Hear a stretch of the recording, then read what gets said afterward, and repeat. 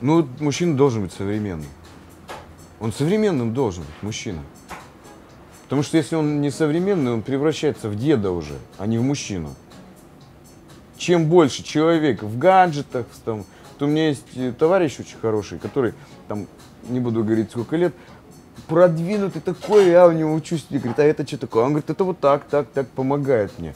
Потому что надо идти в ногу со временем, если ты в тренде, если ты в моде, если ты не то чтобы там понты вот эти вот там, про куртки, а если ты современно живешь, посещаешь результ... э, рестораны модные, общаешься с людьми модными, читаешь модную литературу, современную, то, что сейчас пользуется популярностью, сидишь в соцсетях модных, э, популярных, занимаешься, одежду носишь, и это все накладывает отпечаток на твой ну, успех и движение в мире.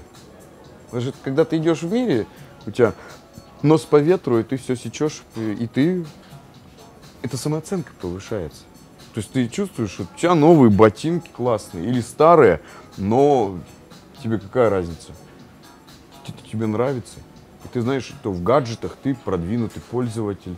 Сделаешь Инстаграм, там, твит сделал. Ну вот, ну, твит сейчас уже это, говно мамонта.